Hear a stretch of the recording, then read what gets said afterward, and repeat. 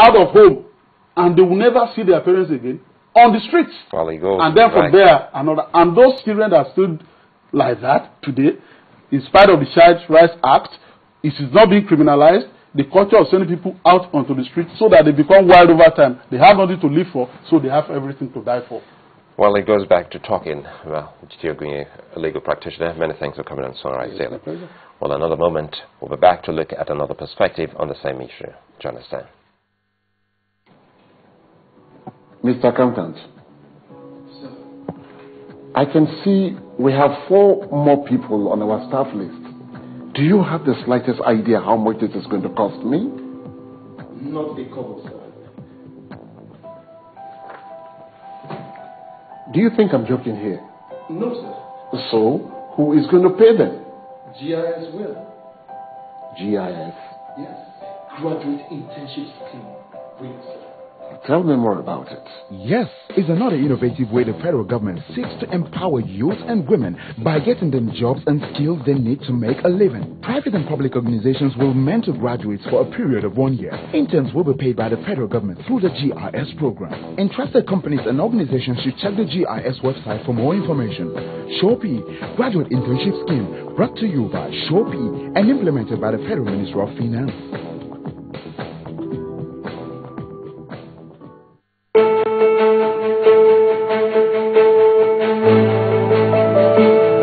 Another luxury. The new luxury comes into the world.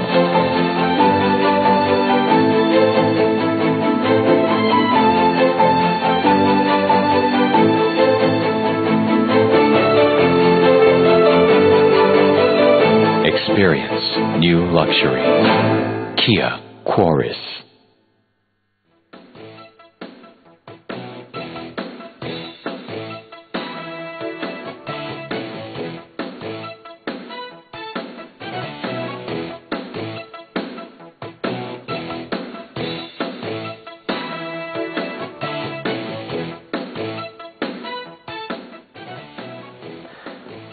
Well, John Oloyede, a lawyer, joins us uh, also to look at the sentencing of Henry Okah. Good to have you join us this morning. Good morning. Uh, but uh, I'm quite sure you must have heard a whole lot of uh, lawyers speaking up, uh, and of course, uh, just uh, earlier on, uh, Mm-hmm. He spoke on the same matter.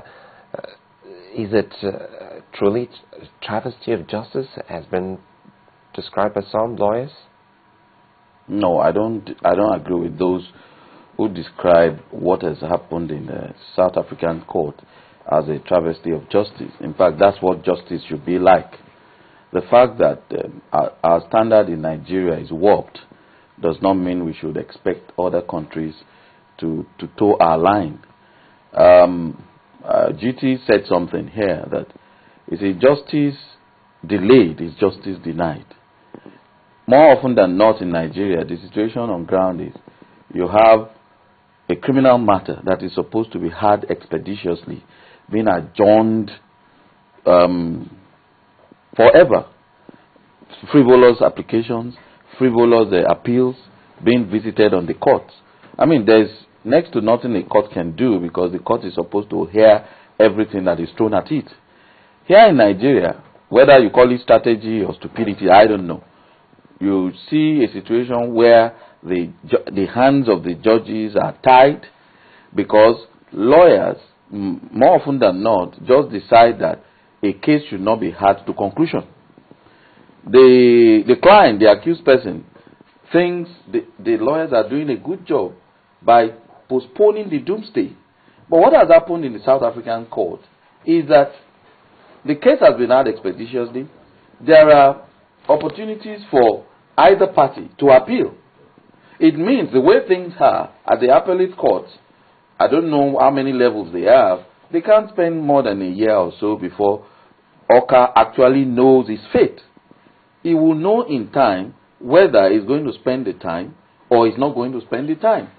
So I don't appreciate where those who are saying this is travesty of justice, I don't know where they're coming from. Well, let's look at the background leading up to this particular case. Uh, uh, Judiciary correspondent Shalat uh, did something uh, on it. It was in October 2010 that a deadly terror attack in Abuja, Nigeria's federal capital territory, claimed about 12 lives and left another 37 persons injured. Two and a half years after that deadly terror attack, dubbed the Independence Day bombing, the mastermind Henry Okah has now been sentenced for that offense by South African court.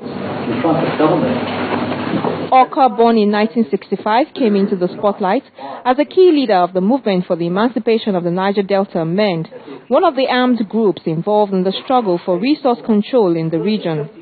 The fourth son of a naval officer, Okah was said to be enraged by the living conditions of the Niger Delta people and subsequently used his experience as a gun salesman to further his self-chosen career as a rebel leader.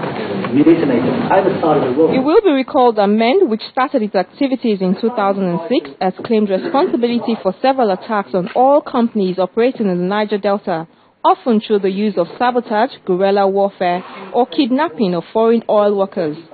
According to the group, their main goal is to destabilize the foreign oil interests in the Niger Delta, who they claim have been exploiting the local populace. Okah organized and funded rebel groups, and at a point he relocated to South Africa where he continued with his armed struggle. He was there till he was arrested for the Independence Day bombing in 2010, an offense for which MEND again claimed responsibility. Even though the alleged crimes occurred on Nigeria's soil and there is an extradition treaty between both countries, the Nigerian government refused to seek his extradition. With this sentence, Nigeria's history would record Henry Okah as the first Niger Delta militant leader to be convicted on charges of terrorism. Shola Shieli, Channels Television News. All right, before we look at some of the other issues, let's talk about uh, the extradition treaty between Nigeria and South Africa. Uh, now that he's uh, to spend time in jail, they haven't appealed yet. Can the government also move in and say, well, let's have him spend time here? Well, on motives of expediency, anything can happen in Nigeria. I, I mean, the backdrop is this. I remember correctly, if my memory serves me right, that when the Abuja bombing occurred, the initial reaction of Mr. President was to say, forget what MEND says, MEND is not involved in this bombing, if I remember correctly. Now, since the sentencing, nothing has been heard from the Nigerian government. No comments of anybody, the chief law officer, the spokespersons. I, I venture to think that the position of the government is just to maintain studied silence never to get involved because it's actually embarrassing for the head of a state to make a comment that has now been totally negated by the judiciary of an, uh, an entirely different country. It will be out of place, in my own thinking, for the same government to now say, oh, extradite the man here after sentencing. This was the same person who faced charges in a Nigerian court and subsequently before conviction or whatever, amnesty was granted. Now, what would be the basis for asking for the extradition after sentencing? And when he has not even exhausted all his um, options by way of appeal. The appeal we talked about, uh, sorry, Maupe asked a question yesterday. Uh, she posed a question to Professor Skiamo asking if it's possible uh, that uh, those witnesses that, uh, well, were denied uh, to come testify on his behalf will be allowed this time. But uh, he says, no, well, you can't do that in appeal. But for uh, Ogunye, he says it looks like uh, in some cases uh, it can be allowed. Oh yes, I mean, you, the, the, the, I mean, the law, the law is made for men, not meant for laws. It doesn't mean because you've never had an opportunity to present your case at the at the lower court, the appeal court for all times and for all purposes will shut you out there are on rare occasions, I mean, that's an exception to the general rule. If you can confirm that while the trial was ongoing, this piece or pieces of evidence were already available, but for whatever reason they could not be produced. Yes, ordinarily the court, the, the court of appeal is, is a court that depends on the record of the lower court. It's not supposed to. It's not a court of first instance where the court will listen to witnesses and all that. But in so far as it relates to, I mean, except in constitutional matters where the Court of Appeal can then act as a court of first instance.